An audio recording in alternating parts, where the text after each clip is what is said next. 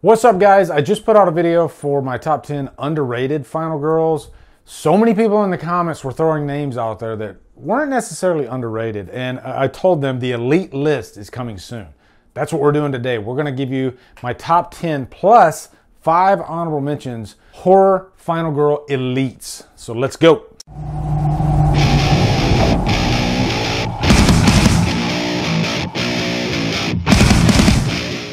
What's up, guys? Man, this was such a tough list to put together. There's a lot of horror movies out there. And you know, to be a, an elite final girl, to really stand out above the pack, it takes a, a few qualities, you know? And, and sometimes it's hard to, to figure out what that quality is, but it just happens. It just shines. And I'm sure that I'm not going to uh, name some names that you, you're thinking of, okay?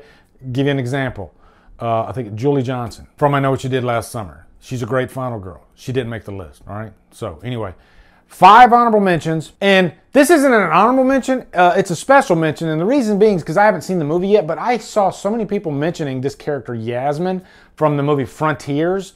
It's a French horror movie from, I think, the creators of High Tension. And even shout out to a friend of mine, uh, Julie. She mentioned uh, Frontiers, Yasmin from Frontiers. So I definitely wanted to give her a special mention. I will be watching and reviewing that movie really soon. I almost watched it today, but then it ended up watching Killer Party. So that's on my next to watch and review list because just because I keep hearing these, these great things about this character, Yasmin. Okay, so five honorable mentions. Gonna do these real quick. First honorable mention is Erin, Jessica Biel from the Texas Chainsaw Massacre remake. And, you know, I've given the remake the business, I guess, over the past few months, comparing it to the original. But all said and done, it's still a very good movie. It's still one of the best remakes out there. And one reason for that is because of Jessica Biel. Like, to me, Jessica Biel is high, high above every other character in that movie, besides R. Lee Ermey, of course, okay? As Hoyt. He's amazing as Hoyt. But Jessica Biel, the glaringly obvious thing is she's probably the most beautiful woman on this list. And there's a lot of beautiful women on this list, but Jessica Biel, if you want attractiveness to your final girl, then she definitely checks that box, okay? But, you know, in terms of like channeling emotion, she does a great job with that, you know, especially in the last act of this movie. It gets pretty damn intense. And she sells it. As a matter of fact, Jessica Biel is in every single one of my intros when I don't do like reviews. If I just use my normal Drumdums intro, it's Jessica Biel and Sarah from The Descent. Every video. Next I want to mention is Max from the Final Girls. I love her because there's this nice relationship with her mother. So there's a lot of heart to this movie. And she's thrust in this situation where she, you know, because her mother was like an 80s slasher scream queen.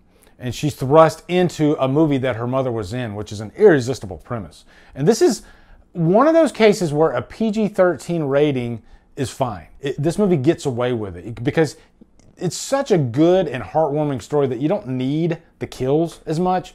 And it's it's really like a horror comedy. That's what it is. But man, she is such an infectious character. And she brings a tear to your eye with some nice moments with her mother at the end. And then she's like running uh, from the killer. Next honorable mention, I'm going to go with Jay from It Follows. Jay is technically a final girl. She's one of the few final girls that actually has sex in the movie. And that just goes to show that you can break the rules in terms of being a final girl. And I'm sure there's others that have had sex. You know, way back in like the you know 70s with like Halloween, that was kind of the rule. You can't have sex. They even say it in the screen. But Jay definitely has sex in this movie, and sex is a big part of getting away from it. Uh, if you if you have sex, you pass it on. But Jay struggled throughout this, you know, just a really great performance by Maika Monroe. And people don't give horror actresses enough credit in the the acting department. It is one of the stronger performances I've seen in basically a, a slasher movie. That's really what It Follows is. Just a slasher movie in the form uh, of elevated horror. I got you. You, you fuckers are going to go down below and you're going to be like, no, it's not elevated horror. Okay, whatever. Uh, next honorable mention, you got to mention the Italian horror goddess Edwige Fenech. This is pretty much, in my opinion, the most beautiful woman on the planet, okay? And I haven't seen all of her movies, but I've seen a few of them. The Strange Vice of Mrs. Wardh is one that really comes to mind. You know, she was just in so many of those movies, those Italian horror movies back in the early 70s. And she became the Italian horror scream queen deservingly so. She's beautiful, but she's also a great actress, and she has this sympathetic quality to her. Like you can't help but like feel sorry for her, especially in like the Strange Vice of Mrs. Wardh. I just felt so bad for this character, and so super excited to put Edwige on uh, one of these lists. And then last honorable mention, I'm gonna go with Tree from the Happy Death Day movies. I don't really like the movies that much, just because. Don't get me wrong, I like a good horror comedy, but if you're a slasher and you're marketing yourself as a slasher, I want some nice kills in there, you know, because the comedy, the characters are decent in those movies. Every single kill is a cutaway because, you know, she wakes up every time she dies. By the way, this is one of the few cases where the final girl dies like multiple times in the movie, but she just keeps coming back. But the big thing about uh, Jessica Rothe is she is such a likable character. She has great comedic timing. That's not an easy feat to pull off and uh, you care. You really care about her as a character throughout these movies. She is the cornerstone of these movies. And I liked her so much that I kept thinking, man, I would love to see her in just a straight up balls to the wall horror movie. You know, pulling no punches, doesn't have to be a horror comedy. I prefer it not be. I would love to see Jessica Rothe really flex her horror muscles and she could become the next Scream Queen. I think she could easily do that. Let me know down in the comments if you agree with me on that. Okay, Top 10. Here we go. Number 10, I'm going to go Jamie Lloyd. All right. And, and I put Rachel as number one on the underrated. But Jamie Lloyd, people do mention her all the time. And I think she deserves to be on this list for a couple reasons. One, because she was a child, you know, and to, to be able to pull off a commanding performance at such a young age, no easy feat. And Danielle Harris pulls it off. She does a great job. You're constantly with her throughout Halloween 4 and 5. And, you know, what happens to her at the end of 4 is tragic.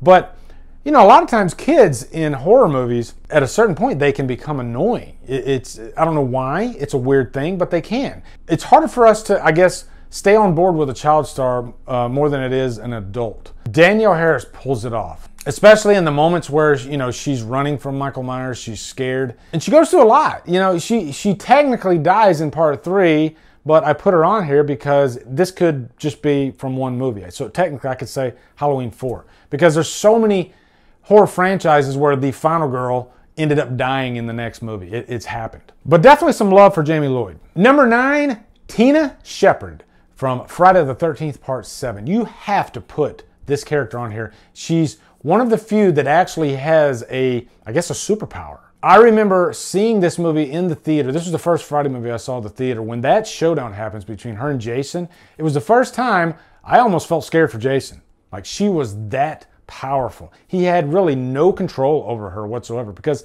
he's pretty much just a brute. Where she could literally, with her mind, lift him up. If she was, you know, powerful enough, she probably could have just split his body in half she just wasn't at that level yet. But uh, Lar Park Lincoln really gave a lot to that character in you know vulnerability and emotion and strength. All of it was there, and I think if it was just a standalone movie instead of part seven in Friday the Thirteenth, she would have become more of a legend. Um, but it's it's kind of like a, com- a combining of Carrie and Friday the Thirteenth. Number eight, Jess from Black Christmas. Really, I think Black Christmas set the template for the modern slasher. You could even argue back and say Bay of Blood might have. Bay of Blood, I would say it set the template for the modern camp slasher. Just overall, the slasher vibe, Black Christmas. And you can see a lot of Black Christmas in Halloween. But Jess, even still to this day, she's such a unique final girl because this is 1974. This is a character that's breaking off her relationship with this guy. She's pregnant and she wants to get an abortion. That's heavy shit. And the reason Bob Clark did that was because he wanted to make characters that weren't dimwits, that weren't dumb, that were smart, intelligent. I guess Bob Clark was just a character guy. He loved giving rich, deep characters, and Jess is just that. She's not like your Sarah Connor. You know, this is a different type of character. She's strong willed, she can think for herself, she doesn't need a man. So I, I, like Jess because she fits a certain mold of Final Girl because a lot of these Final Girls, they're versatile. You know, they, they fit different qualities. I wouldn't want every single Final Girl in my movie to be just female Arnold Schwarzenegger. Number seven, Laurie Strode. And that's going to be surprising and probably hurtful to some of you guys because I know some of you love Laurie Strode so much. She's on the list, all right? Every single person on this list I do love as a final girl. Laurie Strode's just not my all time favorite final girl. But having said that, Jamie Lee Curtis gave that character quite an arc, especially if you look at her from the first movie all the way to Halloween Kills, even though she doesn't really do that much in Halloween Kills. So, really, 2018. It's kind of cheating because she has two or, or maybe even three different timelines in the franchise. But you know that's power when just your presence, your star power alone can get a movie made. You know, very few can do that. Only a couple can do that. Jamie Lee Curtis is that powerful that if she steps forward, you know, to the Akkad and says, "Okay, I'll come back for another movie," boom, let's greenlight a Halloween movie. That's what happened. They had Halloween Returns that was go for launch, and then as soon as Jamie Lee Curtis came in the picture, chop, we're done. Let's uh, let's press forward with this vision. I don't know everything that went on behind the scenes, but that's probably a pretty good guess. You know, I was talking about how you have to fit certain molds uh, as a final girl. She fit that mold of innocence in the first movie. Strength eventually comes, but not in the first movie. The first movie is more about taking this character that is so damn innocent, you know, all the way down to like the way she looks, her clothes, everything. And Jamie Lee Curtis embodied that perfectly. And, and, she's a great actress because that wasn't who she was in real life. You know, she said she was always more like Linda and Annie, but she ended up playing the character who she thought wasn't really fun, you know, but she was smart. She was pretty much the virgin. So Laurie Strode has a lot of fans, rightfully so, and she definitely belongs on the list of greatest final girls ever. Number six, Sidney Prescott from Scream. This might be the best final girl in terms of range, you know, covering an entire franchise. Very few of them, if any, make it in every movie. I think she might be the only one that is in every single movie in a franchise, and we want her there, you know? There isn't like this fan base, like, say, Laurie Strode, where they're like, I don't want her in any more movies. Please get her out of here. That never happens with uh, Neve Campbell. Every single time a new Scream movie is announced, I want Neve Campbell. When is she going to be in the movie? Can you please let me know? You know, and that's that says something.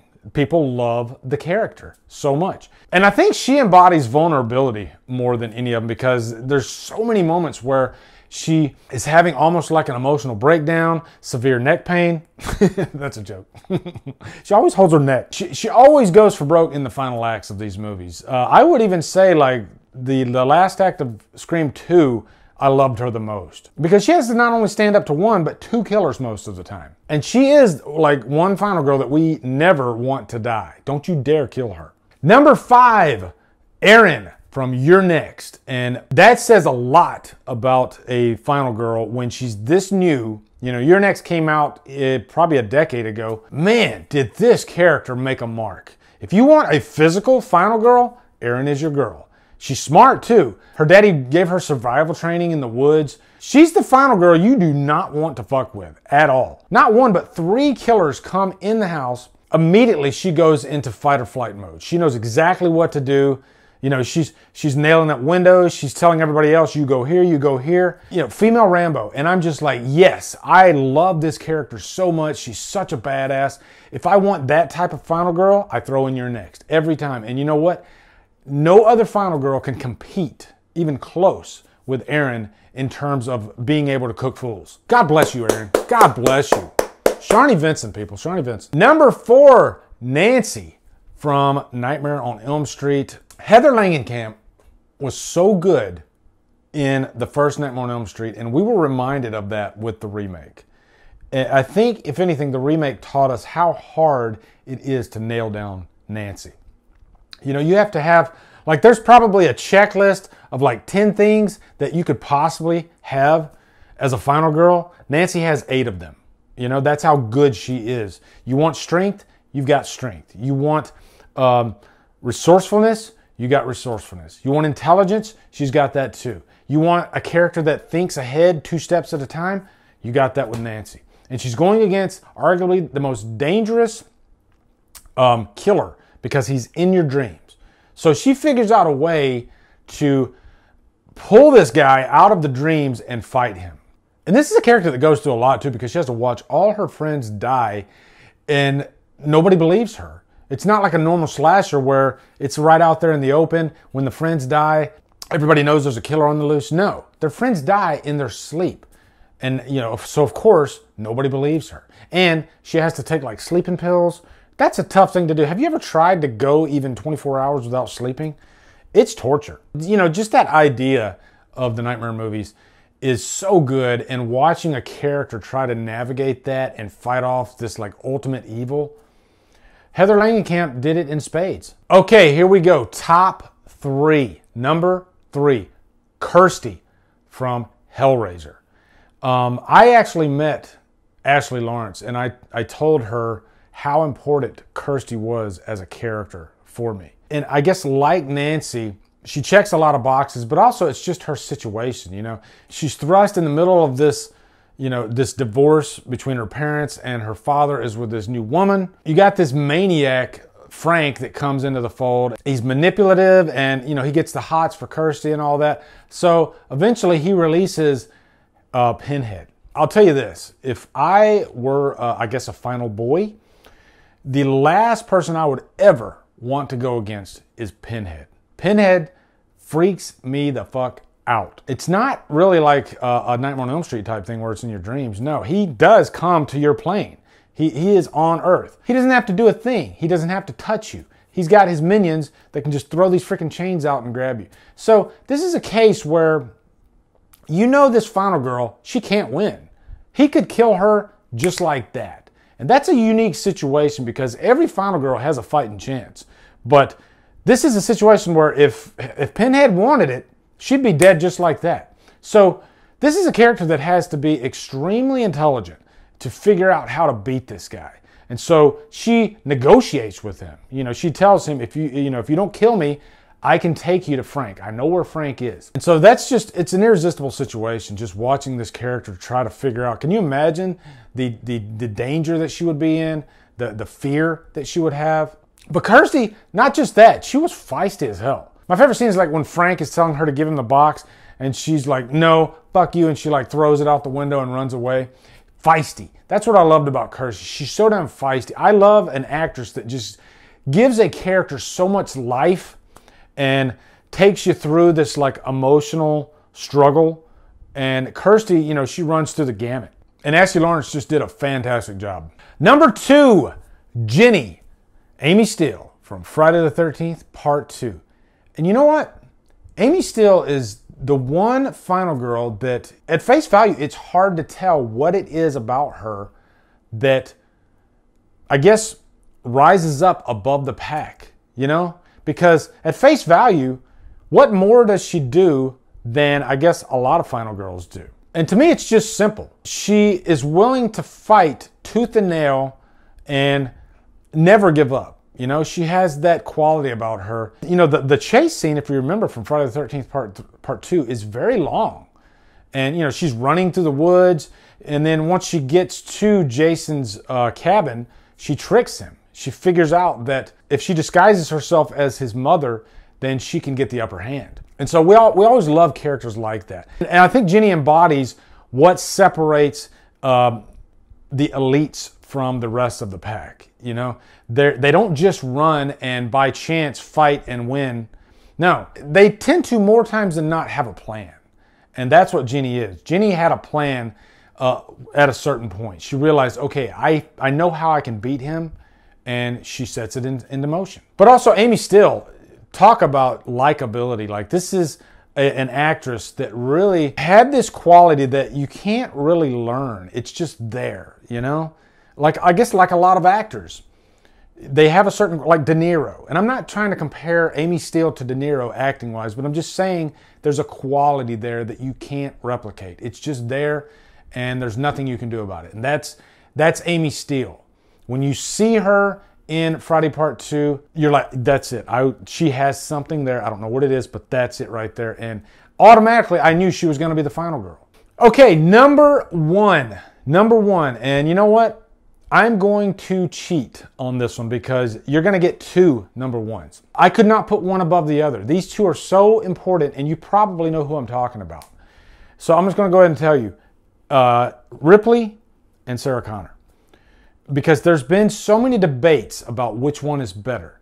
And you can't really answer that question because they both have different qualities. Sarah Connor is really the ultimate character arc for a final girl. She's the best character arc that's ever been out there. Watching her just be this waitress that seems very weak, like at face value, she seems like she'd be the first one to get killed.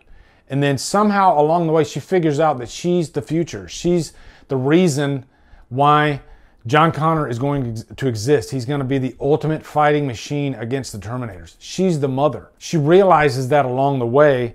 And at the end of the movie, she snaps into motion, you know, on your feet, soldier. And that happens really late in the movie. People don't realize that. This isn't something that happens like at the middle.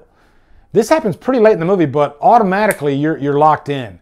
You know, it clicks. There's just something there. And the reason being is because love she had this beautiful connection with Kyle Reese. And I think if you didn't have that, then she wouldn't be as important. It's the one case where love causes strength. And so she realizes that she has something to lose, the future. Ripley is a different story because it's less of a character arc. The, the strength was always there in Ripley, you know? She, but she wasn't even like the commanding officer. Uh, she was just, you know, she blended in with the pack. So at the beginning of Alien, you didn't know that it was Sigourney Weaver, Ripley, that was going to last at the end of the movie. And so I like that um, at the beginning of Alien, everyone has equal footing. It could be anybody. And Ripley kind of rises above the pack. She's the one at the end that has to go against pretty much the scariest being in the universe, a xenomorph. And she figures out how to beat the thing. But Sigourney Weaver has even stated that a lot of actresses would probably play Ripley a certain way, thinking that that would be the way. But Ripley has a, a, feminine quality to her that's always there. No matter how tough she is, that, that strong sense of feminism is still always there. And no other actress can pull it off like Sigourney Weaver. I think that's the reason why they've never dared try to recast uh, Ripley. So I hope you forgive me for uh, giving you two number ones, but uh, Sarah Connor and freaking Ellen Ripley, freaking legends, right? So let me know down in the comments which ones I missed. I'm sure you will. Also, be sure to come over to Killer Flicks where we talk horror all day and every day. And on Fridays, we do free for Fridays. Follow my Drumdums on my socials. Support me on Patreon. Buy me a coffee. Anyway, guys, thank you so much for watching. Have a great day and Drum Dum out.